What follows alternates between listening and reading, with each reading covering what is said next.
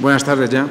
Eh, bienvenidos a la fábrica, a esta nueva edición del CENIS, que, bueno, después de, de un día y medio, supongo que habéis podido evidenciar que es un evento que se está consolidando como, como de lo más grande que hay en estos momentos en el país en materia de, administración electrónica y todo lo que tiene que ver con, con, este modelo de relación con los ciudadanos, con un nuevo escenario más, más uh, próximo. ¿no? Eh, la idea de esta mesa era hacer un punto de inflexión en respecto a estos cuatro años que hemos ido programando uh, intervenciones en el Congreso en relación a todas las experiencias que se estaban desarrollando y un poco también eh, hacer participar a los distintos actores de este proceso para que transmitiesen pues, bueno, esas ideas madre o esas ideas genéricas al respecto de las que va a girar toda la transformación de la Administración. Y una muestra de que el Congreso ha conseguido, yo creo, sus objetivos es que en la primera edición teníamos 10 candidaturas para premios y en esta última eran más de 60 para las 13 categorías. Por tanto, la gente está haciendo su trabajo y, y lo está haciendo bien. Otra cosa es qué tamaño tiene el trabajo que tenemos que hacer. O sea, es una, un iceberg de una magnitud increíble y, pues, bueno, no hay que desfallecer porque el proceso ha venido para quedarse todo lo que tiene que ver con la interconexión, interoperabilidad o interrelación entre administraciones es un tema que no ha venido para hacerse en un solo día, ni en un solo año, ni en cuatro, ha venido para quedarse y todos los beneficios de, este proceso los tendrá la ciudadanía en la medida en que realmente la, la implantación o la implementación sea fructífera y sea exitosa. Pero en este punto de inflexión del Congreso, después de cuatro años, nos habíamos planteado hablar de lo que pasaría en el futuro venidero pues en la medida en que no solo hay que vivir de lo que estamos haciendo, sino también un poco tener presente hacia dónde nos vamos a dirigir en, en los próximos años y sobre todo en un contexto ya supranacional, en un contexto europeo donde se están fijando estos criterios de, interrelación entre administraciones que en el fondo lo que persiguen es libre movimiento de las personas y de las empresas por el territorio de la Unión. Es una utopía esto, no sé cuándo lo veremos porque tiene sus dificultades, pero en esencia es el objetivo. Y en la mesa me acompañan, eh, no sé en qué orden, pero es igual, Alberto y Luis, Marta eh, e Inma. Y ellos se han prestado voluntariamente a construir una idea de hacia dónde tiene que ir esta administración desde múltiples disciplinas, tanto desde el concepto de administración electrónica y el desarrollo de, de, de, las infraestructuras de administración local y autonómica y estatal, todo lo que tiene que ver con las relaciones transfronterizas, todo lo que tiene que ver con los ingredientes que hemos incluido ya de forma estable en el programa de este año en relaciones Smart Cities, gobierno abierto, apertura de la administración y en ese sentido, pues, eh, bueno, vamos a intentar hacer esta, este debate. Si os parece, haremos una ronda de diez minutos de posicionamiento y en la medida en que el público no tenga prisa por ir a comer, porque es una hora muy mala, haremos preguntas y si no, pues habremos conseguido acabar una mesa antes de hora, que va a ser la primera. Bien, eh, ¿te atreves, Inmaculada, para abrir la mesa? Sí, bueno, real, buenos días a todos. Realmente la mesa la has abierto tú. Te pido, porque yo hablo mucho, que a los nueve minutos más o menos me lo indiques. ¿no? Eh, hoy, eh, tanto entre hoy y ayer eh, hemos estado oyendo pues, mucho acerca de la interoperabilidad y de la, de la seguridad y de toda la cuestión de la gran revolución que estamos viviendo en el ámbito eh, de eh, la, una segunda revolución informática, si queréis llamarlo. Hay una serie de megatendencias tanto sociológicas como tecnológicas en el ámbito de las TICs. El M2M, el cloud computing, que acabamos de tener una magnífica presentación, eh, bueno, y otras muchas a lo largo de todo el día, eh, Internet de las cosas, Big Data, una cantidad de tecnologías que se ponen a nuestro alcance y que eh, podemos utilizarlas en todos los ámbitos de nuestra vida y también en la administración local. Y por otro lado hay una serie de megatendencias de índole sociológico como es la transparencia y el gobierno abierto, colaboración, participación y transparencia, como todos sabéis, y el gusto por lo ecológico por, o la necesidad y la demanda de las personas de la gestión responsable de los recursos comunes. Es decir, ahora podemos, nos lo piden y podemos desde la Administración local. Lo podemos dar a través de las tecnologías de la información darle, y las comunicaciones, darle a nuestros vecinos eso que nos están demandando. Alguien dijo que el siglo XIX era el siglo de los imperios, el siglo XX el siglo de las naciones y el siglo XXI el siglo de las ciudades. Y en estas, tecnologías se pueden perfectamente aplicar al ámbito de las ciudades, que parece ser que es donde vamos a vivir la gran mayoría de los seres humanos del planeta. En 2007, si no recuerdo mal, ya se traspasó el 50%, sí, el 50% de la población mundial eh, fue ya urbana, eh, quitando posicionamiento a la rural.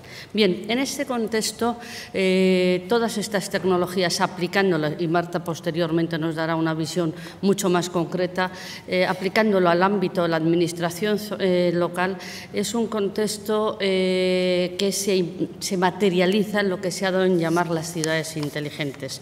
La definición de ciudad inteligente no está acabada y, vamos, congresos y congresos para terminarla, pero lo que sí que está claro es que hay una serie de claves de, necesarias de traspasar para el, para el caminar hacia, de pasar de ciudad tradicional a ciudad inteligente. Y lo que es evidente, y no solo evidente, es que es la aplicación intensiva y extensiva de las tecnologías de la información para aquellos servicios que un ayuntamiento da.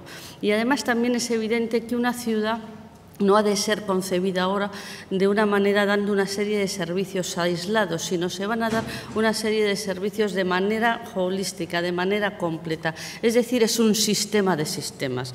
Para bien para la gestión de los suministros y los consumos de los recursos naturales, electricidad, alumbrado, agua, gas, para el transporte, competencia municipal donde las haya, y estamos hablando de la Administración 2.020, eh, para la, generación de espacios de relación entre los administradores y los administrados y, y generación de espacios de actividad económica de alto nivel, y para ese gobierno abierto que hablábamos.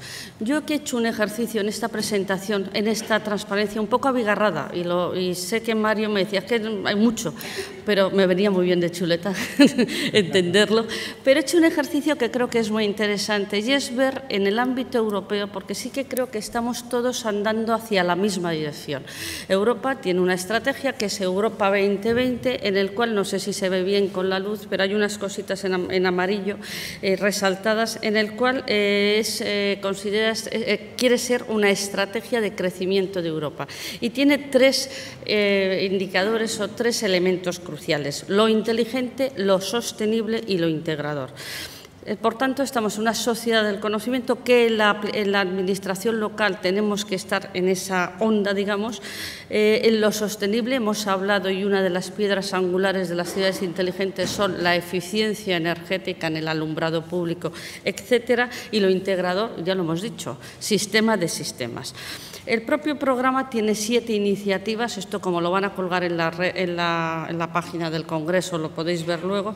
Eh, bueno, y aparte que hay infinitud de información en la propia web de, Europa 2020, la Comisión Europea, pero tiene, cuatro tiene siete iniciativas, se desarrolla a través de siete iniciativas y de las siete, cuatro tienen que ver en mayor o menor medida con el tema que nos ocupa. Y concretamente, si ya vamos a lo que es Horizonte 2020, es decir, a la estrategia de I D de Europa, observamos que hay para el periodo 2014-2020 76.880 millones de euros y de esos hay una serie de eh, partidas presupuestarias que más directo o más indirectamente tiene que ver con el concepto, con el concepto o con las necesidades o con las soluciones necesarias para las ciudades inteligentes. Hay 7.711 millones de euros para las tecnologías de la información y de las comunicaciones, que si luego queréis en las preguntas, porque los 10 minutos son muy escasos, se puede ver el barrido del conjunto de, de programas que para este ejercicio del 2014 eh, se han planteado y vuelvo a repetir, la gran mayoría de ellos se pueden o, la industria nos puede proveer a los gestores de lo público eh, soluciones que pueden ser muy aplicables a nuestro entorno. En materiales avanzados, todos sabemos que la eficiencia energética tiene mucho que ver en aquellos, o mejor dicho, los materiales avanzados pueden tener mucho que ver en aquellos asuntos de eficiencia energética y si veis en la parte baja que se ve fatal, los retos sociales eh, pone claramente energía segura, limpia y eficiente, 5.931 millones, transporte inteligente, tema crucial tema municipal donde los haya y hay 6.339 millones de euros. Y para eh, relativo a eficiencia de recursos y materias primas, ya lo he dicho dos o tres veces, un tema crucial, la eficiencia energética para el concepto de ciudad inteligente, hay, si no veo yo mal aquí, 3.081 millones de euros. Pero con independencia, evidentemente no sumando todos estos millones sería aplicable a las, a las ciudades inteligentes, pero no deja de ser menos cierto que, eh, digamos, se está andando en la misma dirección. Concretamente, para el 2014 hay 2.005 millones de euros en total del conjunto de Horizonte 2020 y de ellos tenemos para eh, ciudades y comunidades inteligentes, un programa concreto, claro y conciso, 92 millones de euros. Para eficiencia energética, 98 millones de euros. Esto para este ejercicio que estamos viviendo. Para movilidad, 375 millones de euros. Es decir, sí que se está trabajando, la industria está trabajando, lo hemos visto en este Congreso, las grandes firmas Muchas firmas en las TIC están trabajando para que los gestores de lo público podamos llevar a esa transformación, que va a ser una transformación infinitamente más allá de la administración propiamente, la, administración interna de un ayuntamiento propiamente dicho, es concebir la ciudad como un todo. Y por último decir, que lo tenéis ahí en la parte, creo que ya voy... Ah, no, Fenomenal, pues no me lo puedo creer.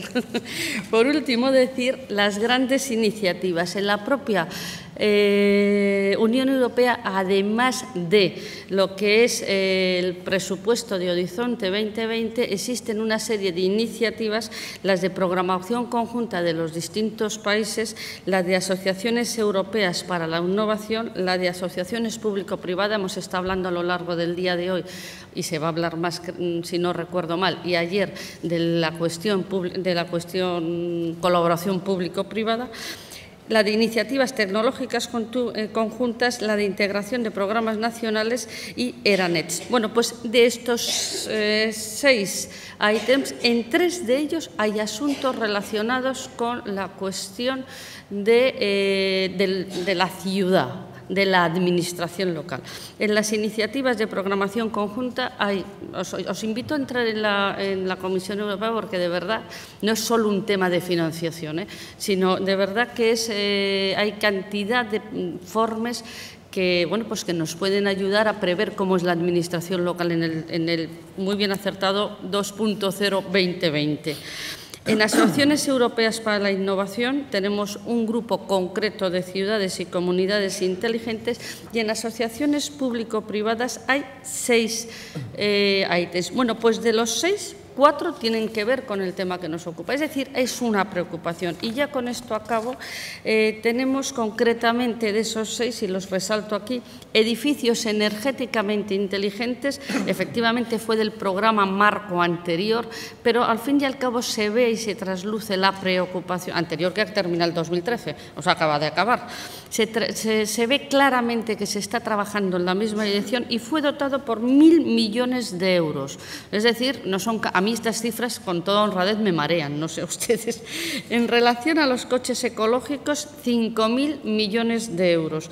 Relativo a Internet del futuro, decir, y es un tema crucial que no tenemos tiempo ahora, pero que es también es una columna vertebral, un sistema nervioso, decir que las 16 de las empresas TIC de Europa se, han unido para eh, tener eh, una visión conjunta y una visión eh, que nos ofrezcan a los soluciones realistas.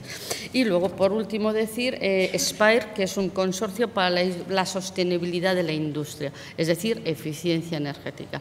Acabaría, y si queréis luego lo del programa 2014-2015, lo vemos, acabaría diciendo una frase que a mí, una idea que a mí me llama mucho la atención y que la he sacado del MIT, y dice que las tecnologías de la información y de las comunicaciones, es decir, los profesionales que estamos aquí en un sitio o en otro del lado de la mesa, en la administración o en la industria, pero eh, dice claramente que estas tecnologías son el sistema nervioso a las ciudades, son para las ciudades como el sistema nervioso para el cuerpo humano.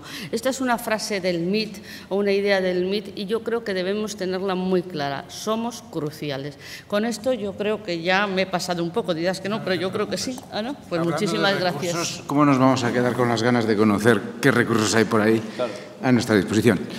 Una mesa de este tipo no podía funcionar, yo creo, de forma completa sin un agitador. y voy a definirte así, Alberto, permíteme. Necesitamos que, incorpores a este discurso respecto al posicionamiento de la Administración la parte que, que, es necesaria y es la de percepción de los ciudadanos, cómo se tienen que concebir los servicios públicos de cada ciudadano. Creemos siempre que sabemos qué es lo que quieren los ciudadanos, pero yo creo que no es así montamos servicios que tienen ciertas dificultades de usabilidad. Alguien decía ayer montones de trámites en la red que no usan porque hay dificultades, hay brechas, hay barreras. Danos tu enfoque transgresor de... Bueno, un enfoque agitado, no revuelto. voy, voy. Hay que cambiar la, diapo. bueno, yo os he traído este dibujo que es un poco incomprensible, es algo que hice en 2008 antes de que empezara la crisis, con lo cual es interesante volver a refrescarlo. ¿no? Y yo ya analizaba qué podría ocurrir en 2033. Aquí hemos sido menos ambiciosos y nos hemos quedado en 2020. Bueno, ¿y por qué 2033? Vale, em, yo creo que hay que felicitaros a todos vosotros por el gran trabajo que se está haciendo y lo difícil que es y lo complicado y lo que hay que invertir. Y sin embargo, yo creo que seguimos en el mismo paradigma de 1833, que es cuando nuestro escritor Larra dijo aquello de vuela usted mañana. ¿Qué ocurre? Casi 200 años después, el cuento de Larra aún se entiende. Si se lo leo a mis hijos, lo entienden. Y creo que el gran objetivo de futuro de la Administración tiene que ser que nadie entienda el relato de Larra. Y cuando digan, vuela usted mañana, dicen, ¿pero de qué hablan? ¿No? Ah, una cosa que pasaba en el siglo XX que tenías que ir y volver y hacer papeles y tal, ¿no? Bueno, pues yo creo que tenemos que ser así de ambiciosos, que no se entienda cuento del arra. Y pensando en 2033 decía, bueno, eh, vamos a hacer prospectiva, un poco así de, chiringuito. ¿A dónde puede llegar esto? yo creo que hay tres ejes que nos dan una pista de a dónde podemos llegar. Un eje es el de la estabilidad. En 2008, cuando hice esto, estábamos en un contexto social bastante estable. Éramos ricos, no había grande contestación social, más o menos, oye, el tema de la corrupción se sobrellevaba, pero como íbamos bien y tal, bueno, estábamos en un contexto mucho más estable que ahora. Ahora mismo estamos en un contexto mucho más disruptivo, donde hay cosas que no se pueden hacer tan fácil. Hay menos cohesión social para hacer según qué cosas, menos confianza en el papel de los gestores públicos, por ejemplo, y, y, bueno, y lo que hagamos va a depender mucho de este eje de estabilidad y disrupción. Por poner un ejemplo que conozco, en Estonia la gente no quiere participar porque se fía de su gobierno. Dice, lo hacen bien, ¿para qué voy a participar? Ahí están ellos, que son mis representantes, y que hagan. Bueno, pues este eje va a marcar buena parte del futuro. Otro eje importante, sobre el cual el debate es un poco infinito y en parte ideológico, es el del tamaño de la Administración. Una Administración puede tratar de proveer el bienestar público, sobre todo con medios propios, o fiarlo más al mercado en función de cómo evolucionemos, la administración va a ser muy diferente, una administración más nórdica, digamos, o una administración más eh, norteamericana, va a crear diferentes contextos. Y el tercer eje que he dibujado es el eje de la ciudadanía. tener una ciudadanía pasiva, digamos, que establece una relación como el de un consumidor en un restaurante, en donde llega, consume y si no le gusta se queja y ya está. O una ciudadanía más activa, más cívica, que se, involucra en la manera en que se prestan los servicios y es parte de la Administración y, por lo tanto, co-crea los servicios de la Administración. Claro, ahora no voy a entrar a explicaros todo el modelo porque son otros 10 minutos, pero eh, si dibujamos un cubo con esos tres ejes, nos quedan ocho vértices extremos que podrían caricaturizar ocho posibles futuros de la Administración. Y yo os he puesto unos nombres que habría que explicar y no voy a hacer ahora, pero sí que hay una lección común a todos ellos. Y es que todos los modelos que nos quedan en la parte de abajo del cubo son peores que los de la parte de arriba. Por lo tanto, el eje de participación ciudadana, el eje de involucración del ciudadano en la construcción de lo público, para mí va a ser lo fundamental que va a definir el futuro. Porque el entorno estable o no estable no lo controlamos, será el que nos toque. Y el tamaño de la Administración pues, dependerá un poco de la acción ideológica que, que gane en cada momento. Pero la ciudadanía es una cosa en la que estamos metidos, ya sea como ciudadanos o desde la Administración, con un papel de fomento y de apertura para poder conseguir que eso suceda. Con lo cual, mi primera visión es esta, es que el futuro puede ser halagüeño si metemos a los ciudadanos en una relación de corresponsabilidad. Bien, pero para decir algo más, que no sea tan genérico también, ¿no? Eh, bueno, yo una cosa que aprendí en el siglo XX, sobre todo en los 90. ¿no? Yo en los 90 eh, trabajaba mucho con el paradigma del marketing de servicios, que no es a lo que llamamos ahora marketing, sino que es aquello de entender todas las variables estando en servicio para optimizarlas. Y allí había solo dos principios, y lo recuerdo porque, aunque los tenemos en la cabeza, bueno, pues yo creo que siguen siendo la clave de todo, ¿no? El primer principio era que todo lo que hacemos está orientado a satisfacer necesidades de ciudadanos y que, por lo tanto, el ciudadano es quien determina si, hay calidad o no en ese servicio. Que cuando definamos un proceso, tenemos que empezar por ver a quién llega y de, ahí para adentro todo lo demás. Y lo que no satisfaga a ese usuario final no vale. Esto parece obvio, pero se está hablando aquí repetidas veces de servicios que nadie consigue usar, de lo difícil que es y tal, ¿no? pues todo lo que hagamos solo sirve si sirve a un destinatario concreto. Bien, segunda idea de los 90.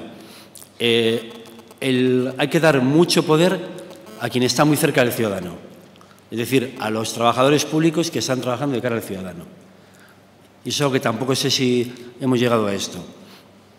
El que más conoce al ciudadano es el que le ve todos los días y es quien tiene que, que ser el disparadero que está detectando lo que va bien y lo que va mal y va transmitiéndolo hacia adentro por toda la cadena de valor en, esa, en los 90 decíamos que había una cadena cliente-proveedor y que el que se acerca del cliente es cliente del siguiente de la cadena.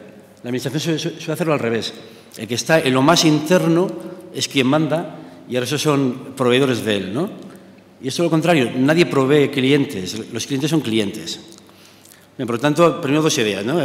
todo lo que hacemos es para ciudadanos y los trabajadores que están a pie de cañón tiene que tener más poder para resolver problemas en el nivel local. Bueno, llega el siglo XXI y he aprendido otras dos cosas, ya tengo cuatro, que no son muchas. Una es esto que he dicho antes, que además el ciudadano no es un cliente, sino que es corresponsable y por lo tanto tiene también algo que aportar en la construcción de lo público. Y la otra sería em, todo lo que nos introduce el vector innovación.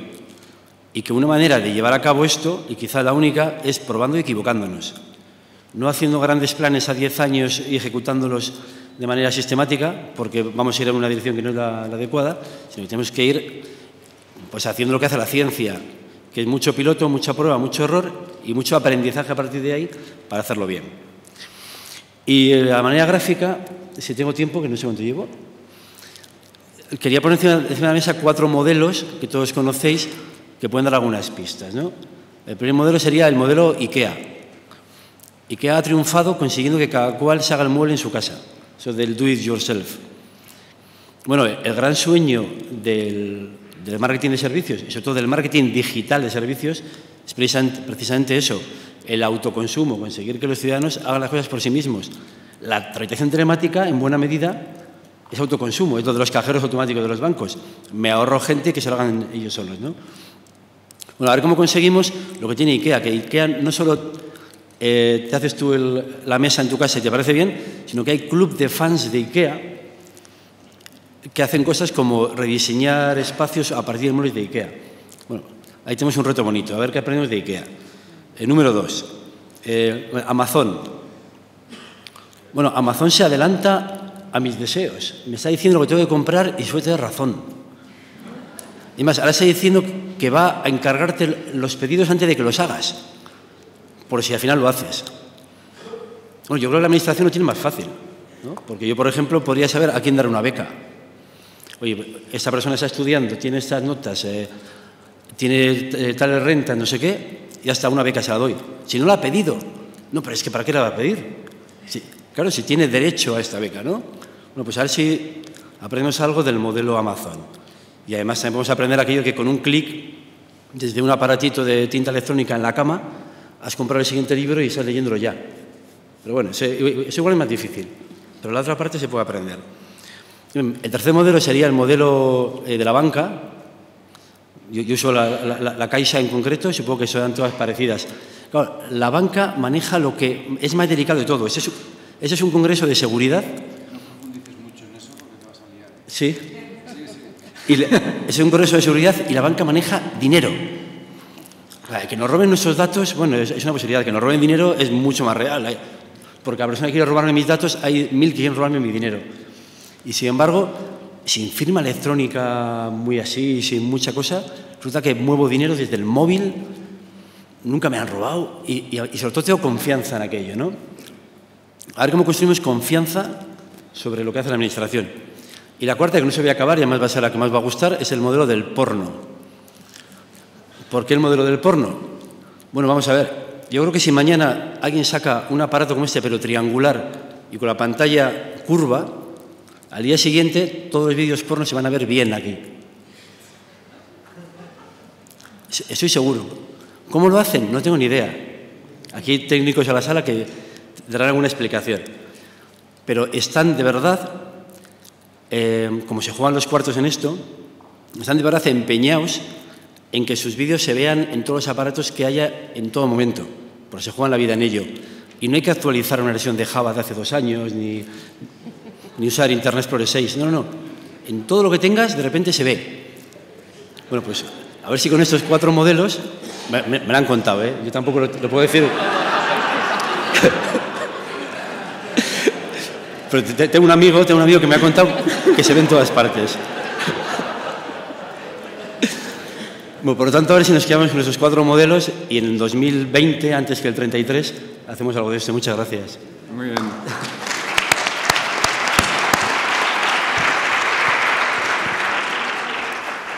Te decía lo de la banca porque no sabía bien bien por dónde ibas a ir. Eso de la confianza. Bien, el modelo de gestión con los usuarios, yo estoy de acuerdo contigo y de hecho es un modelo a imitar en, muchos temas, ¿no? ¿Qué han, hecho con el tema de las oficinas? Pues reducirlas al máximo, poner en tu casa la mayor parte de los servicios y que tú al final vayas ahí a temas complejos donde necesitas asesoría. La Administración tiene un modelo parecido. Deberías poderte hacerlo más doméstico desde tu casa y en aquellos temas que son realmente complejos, pues poder atenderte con una atención especializada. Bien, Marta, es tu hora. Em, Marta nos hablará de, la dimensión de Smart City que ha apuntado Ima antes, pero con, un enfoque más, más profundo. Buenos días, es un placer estar aquí. Venir al CENIS, además de aprender, te permite ver amigos, te permite ver a gente con la que durante muchos años has compartido cosas y eso es un añadido importante, yo creo, en estos actos. Cuando Mario me dijo, no, habéis de pensar en el 2030, yo pensé, bueno, pero este, en el 2030, si esto de la tecnología va rapidísimo, ahora, ¡buh! Pero después pensé, bueno, pon la pelota en medio del partido del campo, ¿no? Y pensemos cómo seguimos el partido y mira un poco para atrás de por dónde veníamos.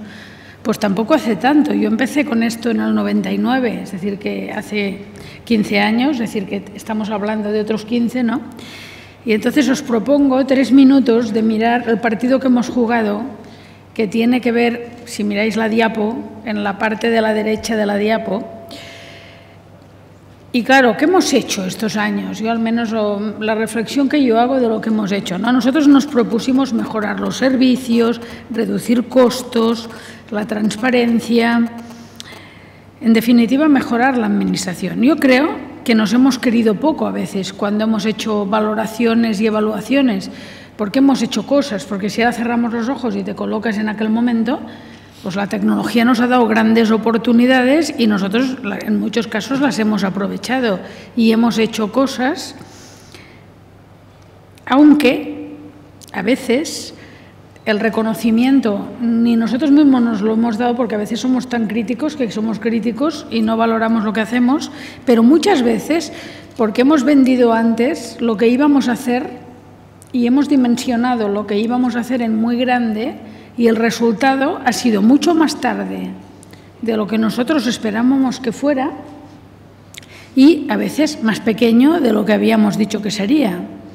Y esto, en cierta forma, a los gestores y también a los usuarios, pues ha sido un poco como frustrante, ¿no? Habíamos pensado, bueno, pero claro, aunque ves el resultado final, el resultado final, si miráis a vuestras administraciones, hombre, pues no está mal, hemos mejorado en cosas, ¿no? Nos ha faltado métrica y nos sigue faltando. Si no se tiene métrica, no se puede decir en qué uno mejora o empeorado, porque no tiene tampoco la, la, réplica respecto al que. Y tenemos realmente muchos innovadores en nuestras casas que si los ponemos a trabajar en red pueden mejorar muchísimo, pero no hemos puesto a veces en valor a nuestros innovadores. Les hemos dejado ahí, o esta gente, sí, este tiene ideas. Yo creo que nos ha faltado a veces ayudar, pero yo creo que globalmente podemos decir que ha habido un trabajo en positivo. Claro, ¿en qué hemos fracasado? Pues eso que decíamos, un poco en la escala, no siempre hemos, no siempre hemos hecho cosas que fueran estrictamente necesarias, a veces nos hemos perdido porque la gente nos ha vendido oportunidades, pero yo creo que la clave para no equivocarse es primero mirar al usuario, al ciudadano y ver al ciudadano que le hace falta.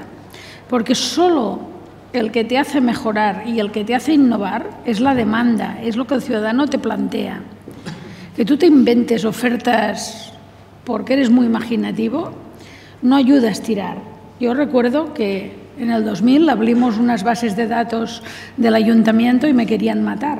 No son buenas, todavía habríamos de mejorarlas. Y yo decidí que aquello solo se mejoraba si se abrían y la gente nos ayudaba a mejorarlas y también nos criticaba. Pero bueno, la única manera es cuando pones a los ciudadanos delante, mejoras por necesidad, porque la demanda te obliga. Voluntad política. Tampoco podemos decir que no haya habido, generalmente han habido pues voluntades generales, ¿no? No me puedo quejar. Hasta alguna vez, algún alcalde que he tenido cuando yo le proponía cosas, yo pensaba, Dios mío, este sabrá en el lío que lo estoy metiendo, porque hay un punto que esto tiene riesgos, tiene dimensiones, ¿eh? pero claro, entre voluntad política y saber el negocio que llevamos entre manos muchos de los que estamos aquí, hay una distancia. Porque para poder hacer bien nuestro trabajo no, no necesitamos hacer políticas a corto plazo se tienen que hacer a medio y a largo plazo. Los sistemas de información no se construyen porque alguien quiera un resultado mañana, se construyen porque haya habido una lenta y tranquila eh, trabajo de construcción de sistemas, etc. El ahorro. El ahorro es automático cuando pones tecnología. Yo antes escuchaba al compañero anterior, pues mira, no siempre y sobre todo si esperas que el ahorro sea inmediato. El ahorro aparece cuando ha madurado el sistema y cuando realmente puede aparecer ahorro, pero no al año siguiente, no al cuarto de hora que te has puesto a hacer. Y bueno, hay factores como la privacidad, como la seguridad, que después cuando hablemos de Smart Cities aparecen con mucha más fuerza, que también son factores que nos han incidido. Resumen, y he gastado aquí ya un minuto precioso hablando del pasado, pero mucha paciencia, yo es lo que he aprendido después de estos años, mucha pensar en grande y actuar en pequeño, no fabular, no hacer PowerPoints pensando que todo será mágico, aquí mágico no hay nada, solo se aprende haciendo cosas y siguiendo, y sobre todo tener en cuenta quién tenemos delante, el ciudadano con el que podemos compartir. Tenía que ver con este cuadrito que os he puesto de la e-administración, pero claro, cuando te planteas un modelo Smart City, que muy bien eh, ella ha hablado pues, del sistema de sistemas, de la gente del MIT que nos ha enseñado cómo moldear, cómo pensamos esa nueva manera de construir las ciudades, etc.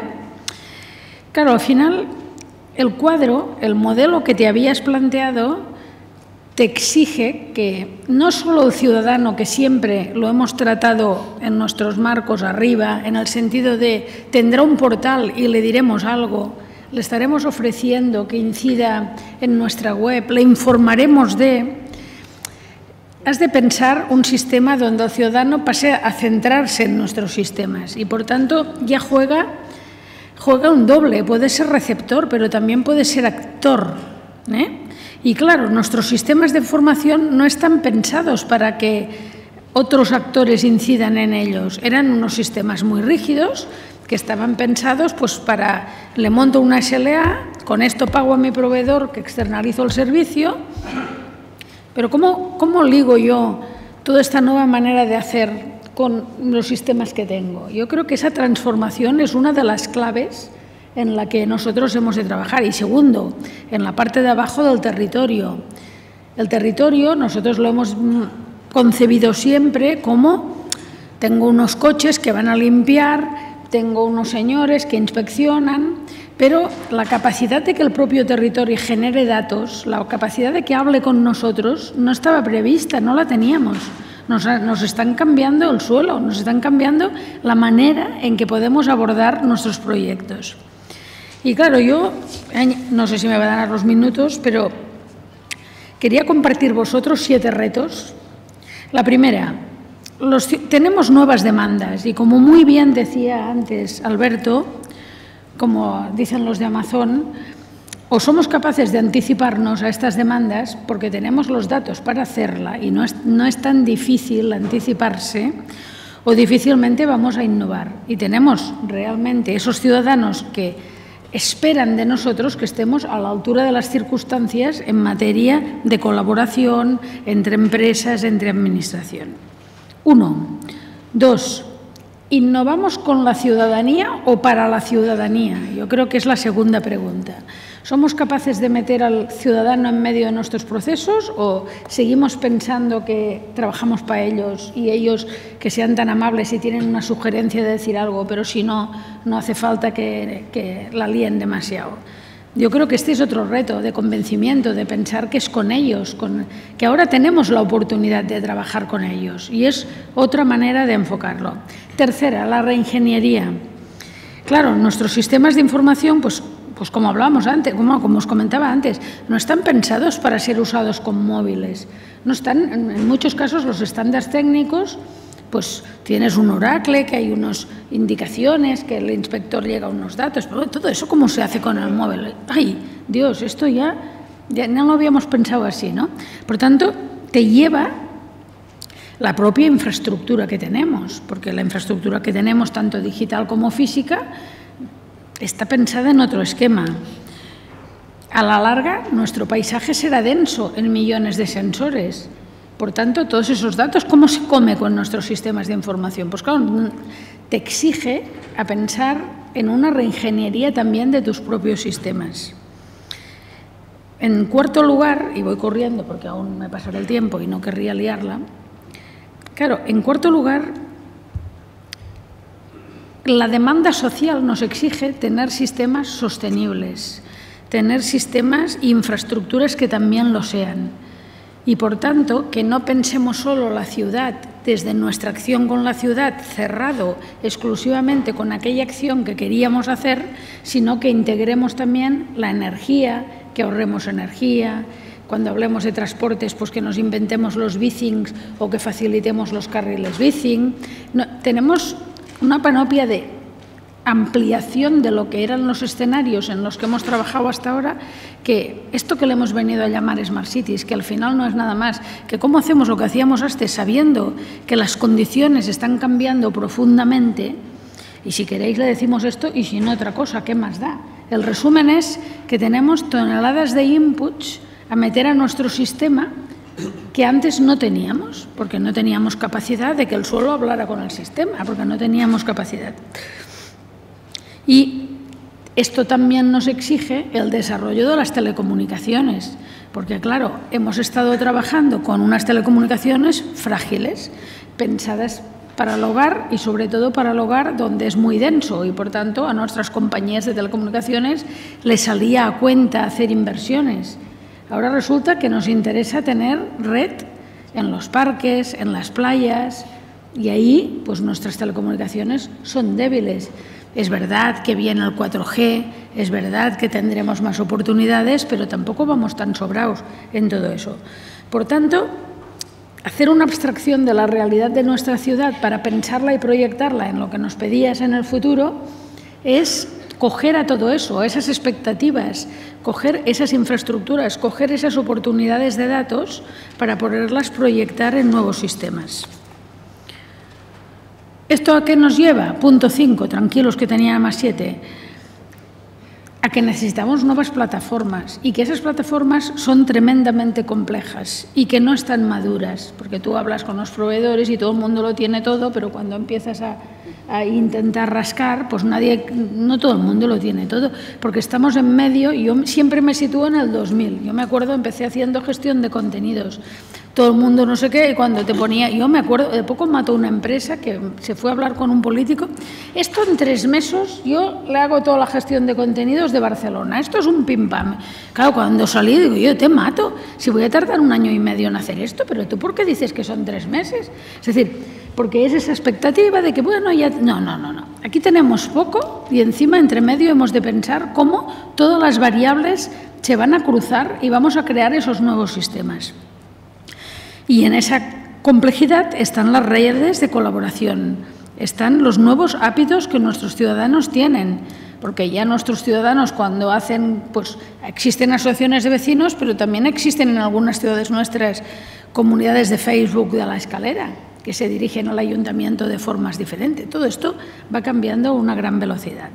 Por tanto, estos ecosistemas los tenemos que contemplar de manera donde las personas sean una parte más, pero también existen otras variables en las que tengamos en cuenta.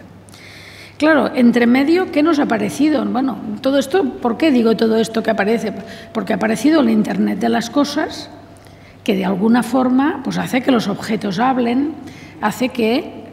Pero también os voy a decir, no soy jardinera y por tanto no soy partidaria de plantar más sensores de los que sean necesarios, porque este esquema que tenemos delante yo creo que lo hemos de pensar de arriba para abajo. Es decir, ¿qué nos hace falta? Si yo puedo tener un solo sensor para la radiación solar que hay en las playas del área metropolitana o dos, no hace falta que cada 100 metros yo calcule la radiación solar, porque es que será la misma, porque del planeta del sol no nos llegan. ¿eh?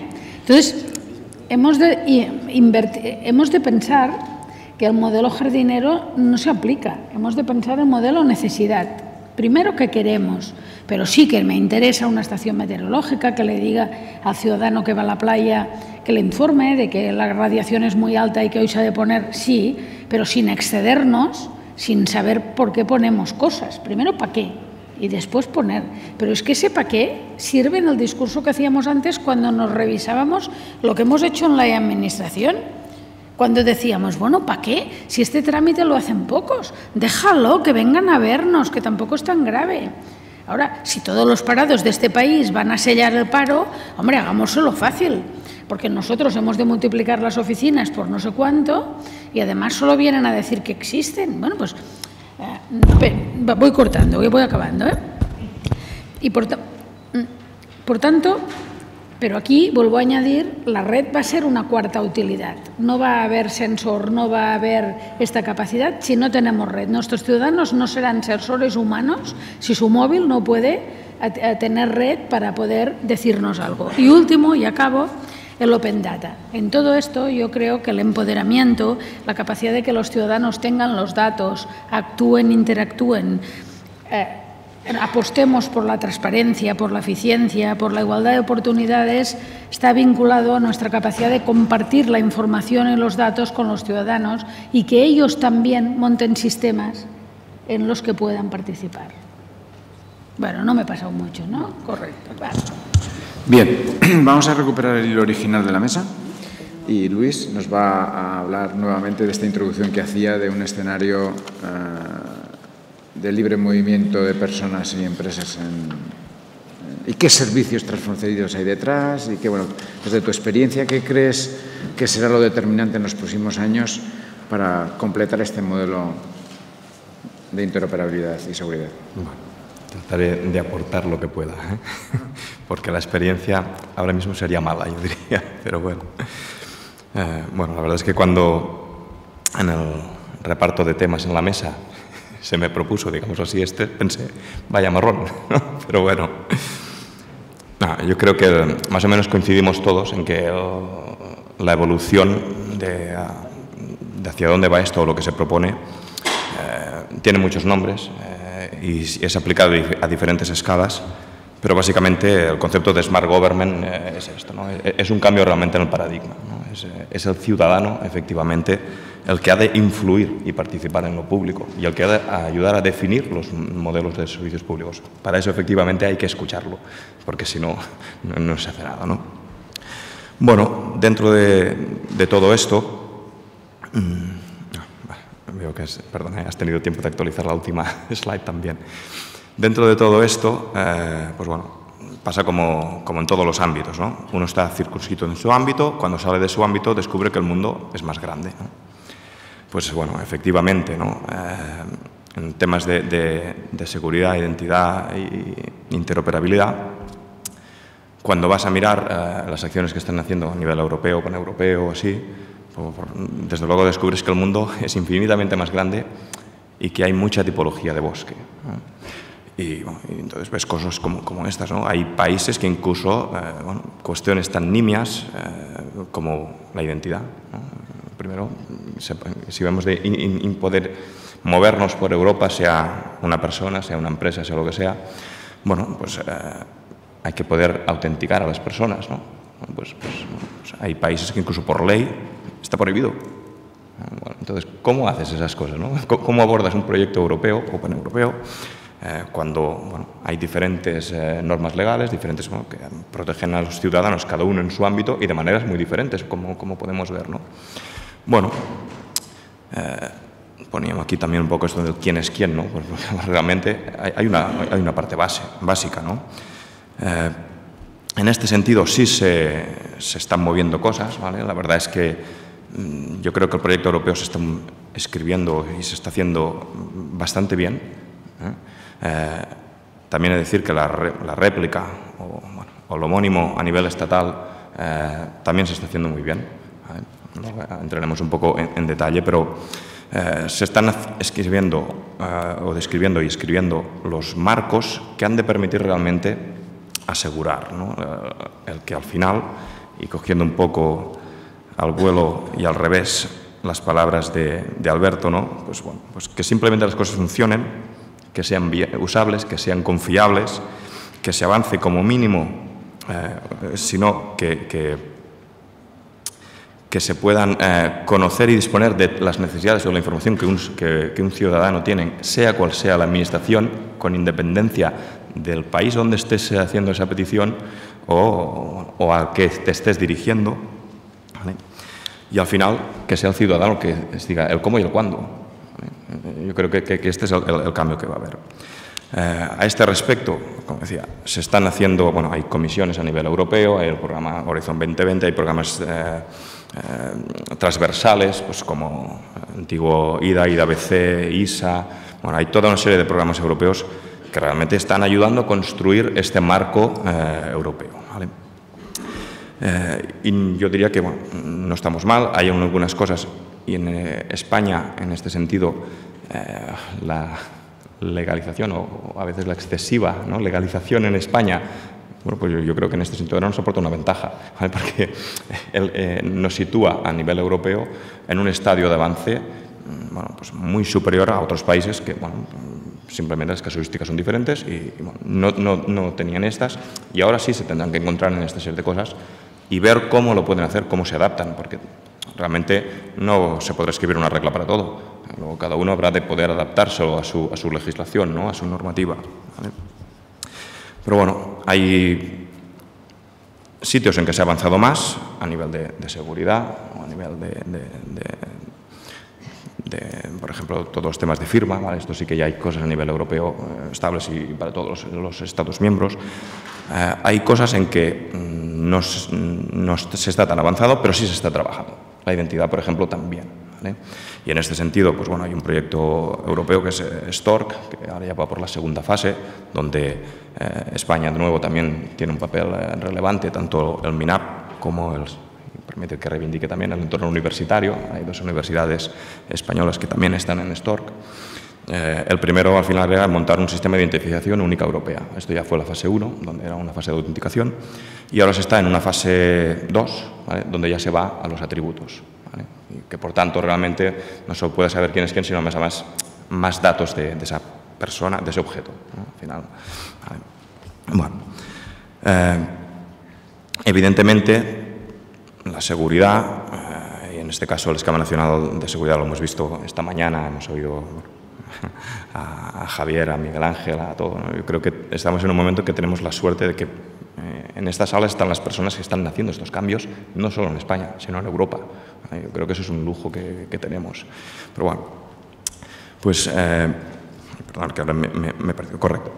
La seguridad, eh, los marcos, el esquema nacional de seguridad, los marcos europeos, todo esto nos ayuda, nos empuja a, a realmente, al final, mirar de conseguir una de las patas que es necesaria, que es la confianza. La seguridad lo que ha de dar es confianza del ciudadano en la administración pública. Pues yo creo que, que, eso está encarrilado y, no hay más remedio. Todo y con eso la seguridad pues bueno, tiene sus riesgos. ¿no? pues también ya hay marcos europeos en, al final no puedes evitar, eh, no, puedes minimizar con medidas, pero desde luego una seguridad 100% es imposible. Pero bueno, sí hay marcos ya también europeos, también hemos visto esta mañana Javier del, CNI eh, en toda una serie de medidas que permiten como mínimo minimizar, observar y por tanto también estar por delante. ¿no? Que esto también, eh, antes éramos más pasivos, ahora podemos ya incluso ser eh, bueno, reactivos y ahora podemos avanzarnos realmente a, las cosas que están pasando. ¿vale? eso desde un punto de vista más de, seguridad e identidad. ¿vale? en la interoperabilidad, bueno, pues bueno, aquí también ponía, ¿no? Realmente yo creo que lo mismo que en administración electrónica, ¿no? también se, eh, era como, como un he de estar ahí, ¿no? Y he de poder, no, yo ya tengo esto. Bueno, realmente se utiliza, ¿no?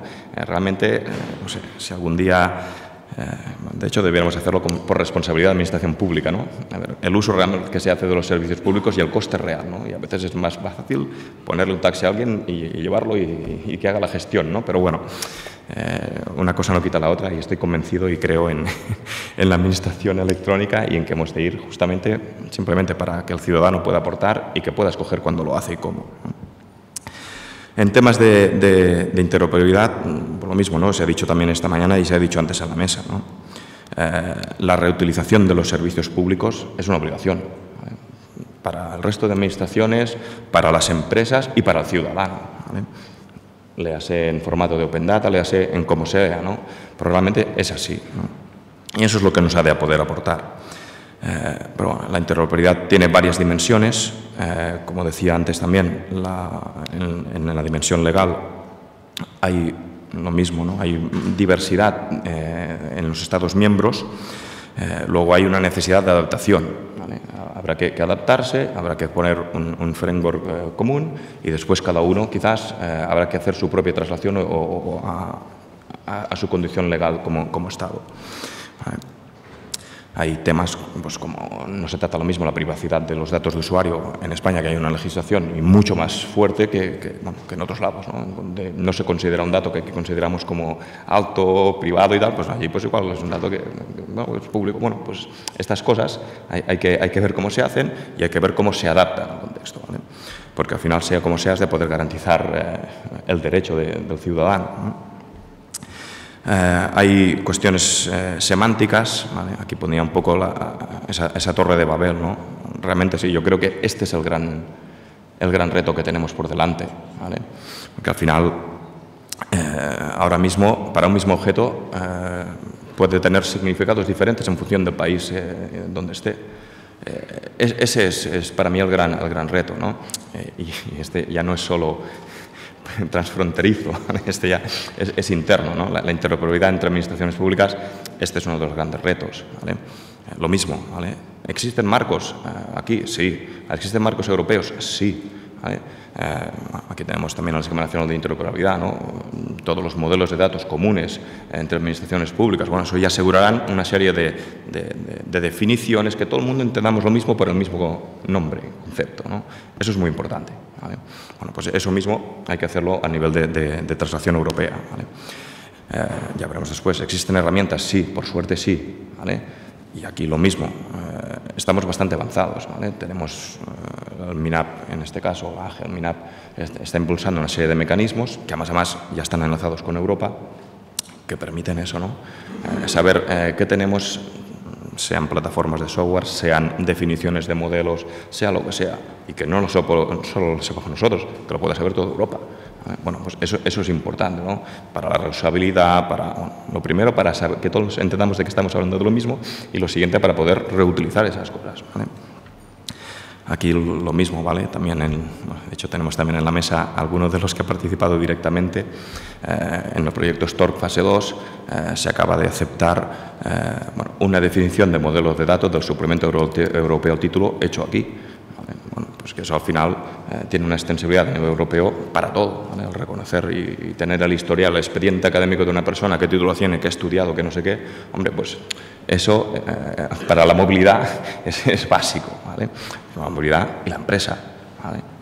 No solo sé que tiene un título o no sé qué, sino además qué especialidades ha estudiado, qué no sé qué. Hombre, eso, eso tiene, da mucho eh, a nivel organizativo, este también es uno de los, de los retos grandes, porque aquí hemos de mirar de alinear procesos, de acordar eh, entre, entre, países eh, niveles de servicio.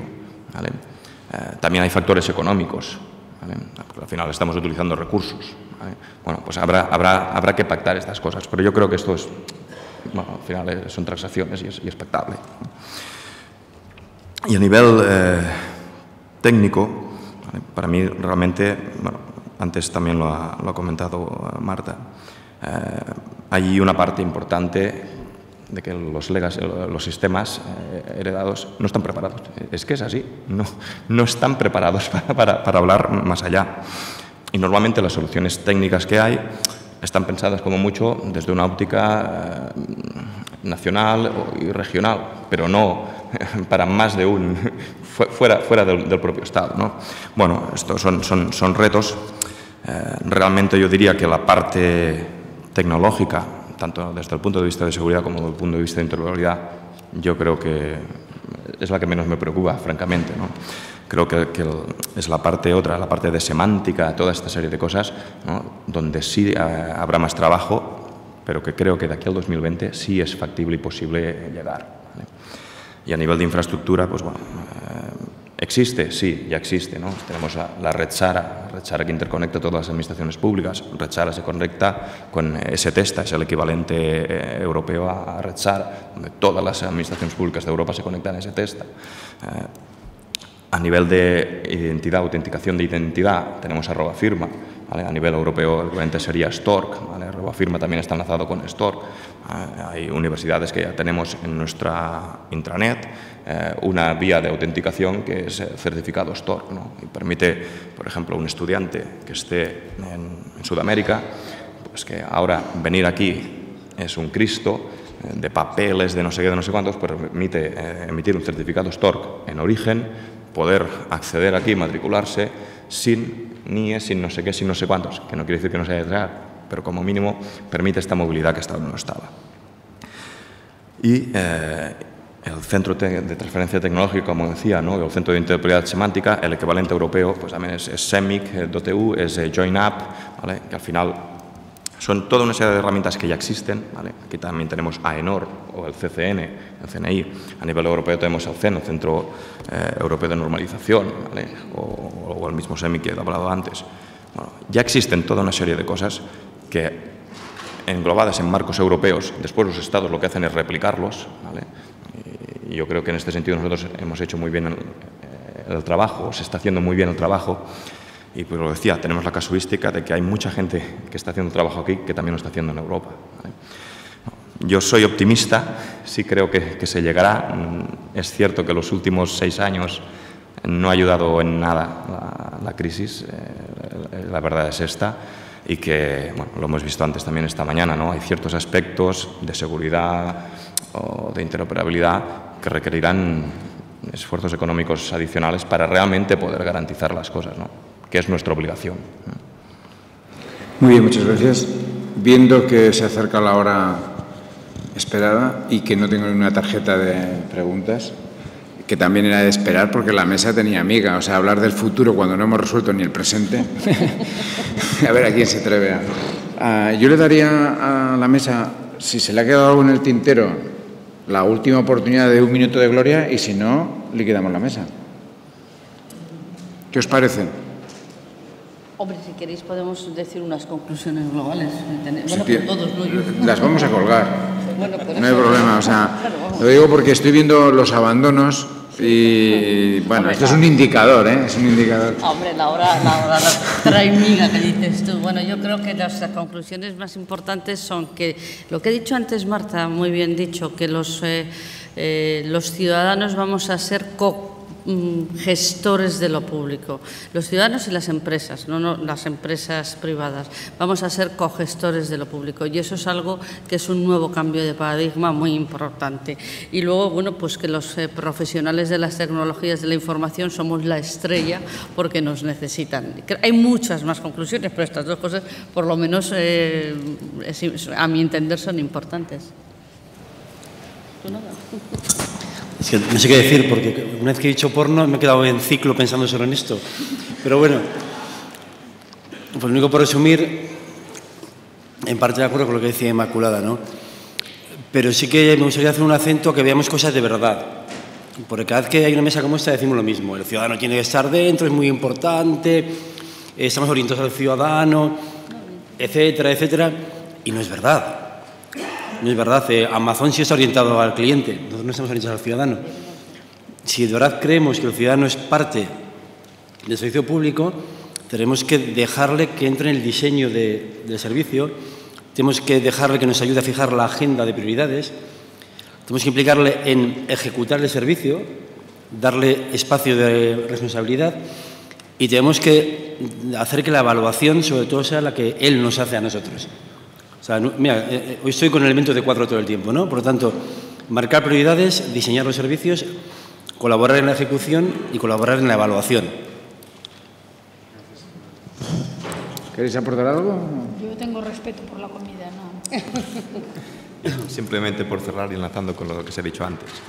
Horizon 2020 lo hemos de utilizar todos hay un cambio de paradigma entre los programas anteriores, 7, 6 y 7, y Horizon 2020, y es eh, la aplicabilidad.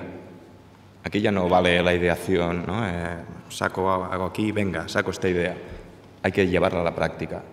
Utilicémonos. Administración pública, universidades en el entorno de transferencia y conocimiento, no de, administración pública en sí, que también, y empresa privada. Eh, es lo que decían, hay no sé cuántos billones de euros. Hemos de ir allí. Yo, si alguien quiere colaboración de universidades, canalizaré lo que queráis, ningún problema. Bueno, muchas gracias. Muchas gracias por aguantar esta traca final y las conclusiones estarán escritas en la web, así que podemos levantar la sesión. Muchas gracias.